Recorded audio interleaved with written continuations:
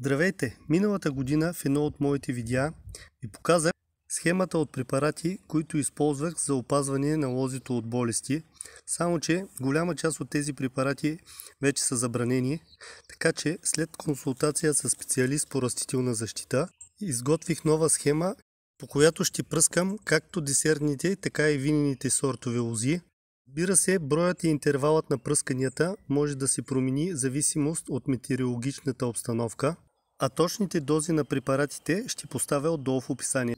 Първо пръскане в фаза 10-15 см ще използвам Дилан Pro, който е за екскуриоза, обикновена мана и черно гниене, в комбинация с Низоран, който е за гроздовия акар. Второто пръскане е при височина на литорастите между 20 и 30 см.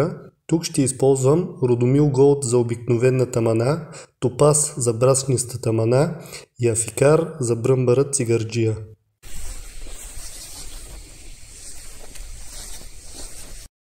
Следващото пръскане се пада с период на цъфтеж лозата.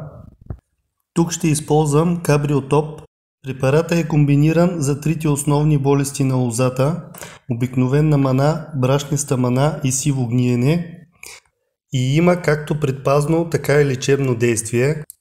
Препарата Дека е отрова, която ще използвам за гроздовия амулец, защото във фазата на цъфтеж той е доста активен и нанася големи поражения по гроздито. Следващото пръскане го правя във фаза формиране на чепката, като предварително подрязвам всички литорасти, които излизат над третия тел. Тук отново ще използвам Dilan Pro, Topaz и Dena, само че този път ще сложа и листен тор, за да подхраня лозите. Ако не намирате във вашата агроаптека някой от препаратите, които използвам, не се колебайте, пишете отдолу един коментар и аз ще ви отговоря кой е най-подходящият негов заместител.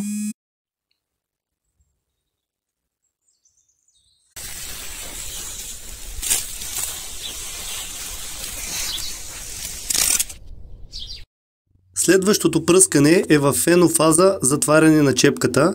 Тук ще използвам акробат за обикновената мана с предпазно и лечебно действие, топаз за брашнистата мана и дека за гроздовия молец.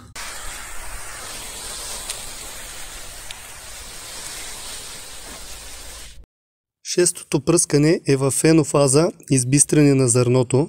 Тук отново ще използвам кабриотоп – в комбинация с листен тор, само че този път ще промина препарата за гроздовия молец, а ще използвам каратезион.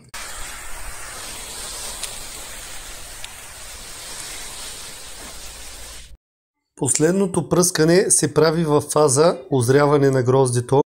Тук ще използвам шампион за обикновената мана, комулус за брашнистата мана, екскуриоза и лозова краста както и Каратезион за последното поколение на гроздовия амулец.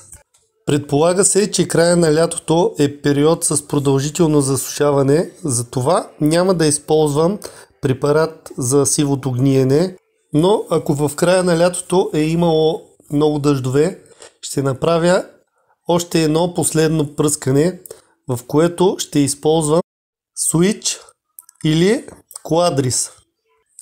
Ако видеята ми ви харесват и искате да подкрепите канала ми, може да го направите като натиснете палец нагоре и се абонирате с камбанка, за да получавате известия от YouTube винаги когато качам ново видео. До скоро!